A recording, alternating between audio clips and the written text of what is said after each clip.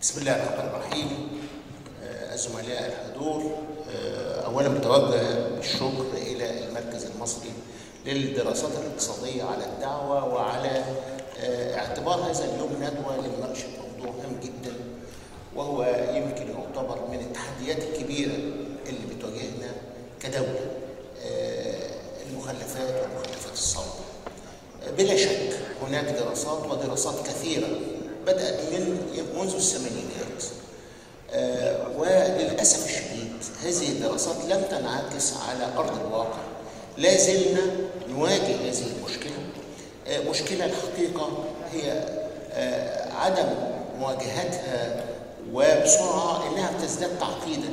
المجتمع بينمو والأعداد بتنمو كمية المخلفات بتزيد. ولما بنراجع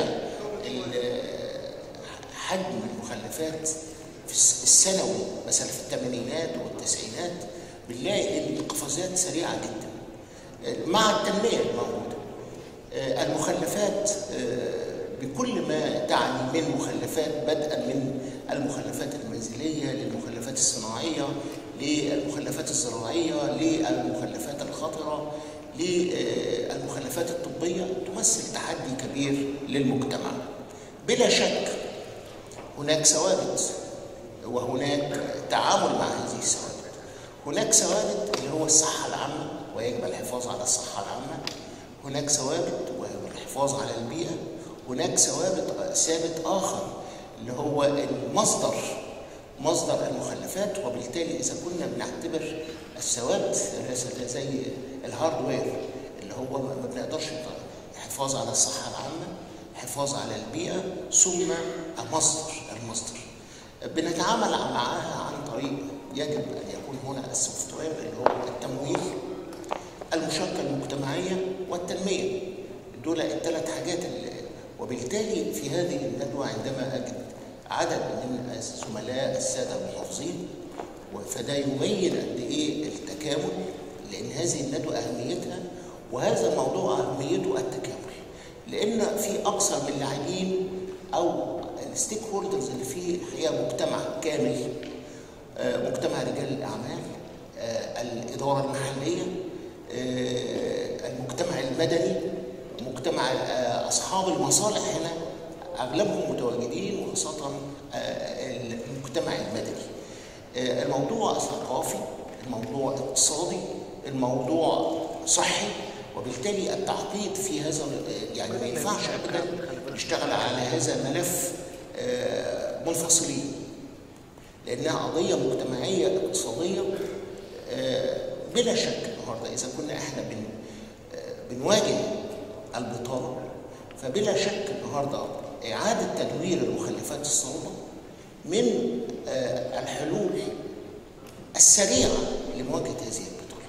وأنا بدي مثل في زي ما بقول دايما المخلفات لا اما تكون يعني فعلا حمل ثقيل لا اما تكون برضه لها عائد. وأنا بدي مثل للمخلفات في قطاع الانشاءات بلا شك المخلفات في قطاع الانشاءات تمثل آه، يعني صدمة للمجتمع عندما نجد آه، على الطرق الرئيسية مخلفات سواء خرسانات طوب من في كل مكان وازاي بنقدر يعني الناس بت- بتجد الطريقة ال- الغير قانونية والغير آمنة إنها تتخلص من هذه المخلفات. في الواقع وهو عن طريق تجربة إن إعادة تدوير هذه المخلفات بيعتبر ثروة كبيرة جدا لأن إحنا بناخد هذه المخلفات وبتدخل في كسرات بتطحن ونستطيع إن إحنا ندخلها سواء في أعمال طرق مكان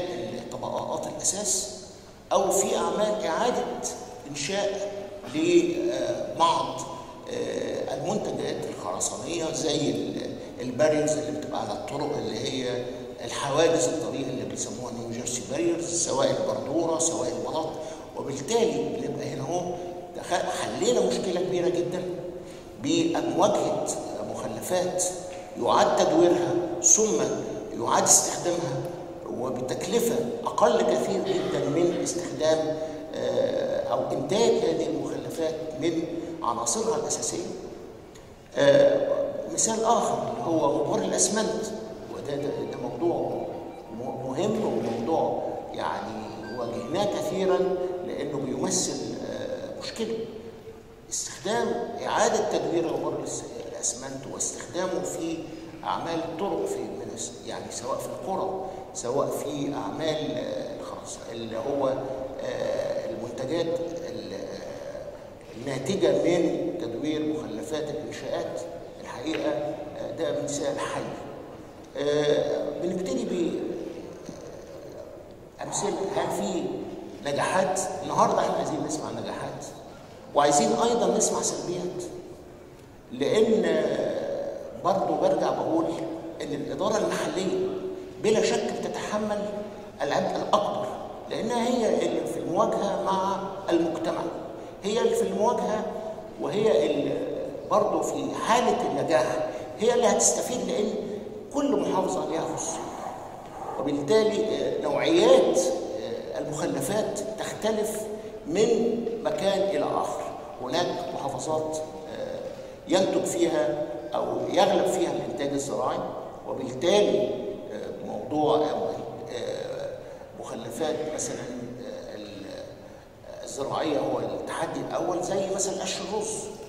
قش الرز ده من يعني الذي يسبب تحدي في كل عام في موسم الحصاد وهو بيبقى الحقيقة كيف نتخلص لكن هذا ده يعني لما بنشوف استخدامه سواء في آه، إنتاج ألواح من الأخشاب سواء في الدخول في العلف سواء في آه، منتجات كثيرة بلا شك يعتبر ثروه آه، هناك دول كثيرة استغلت هذه المخلفات بأن تكون إضافة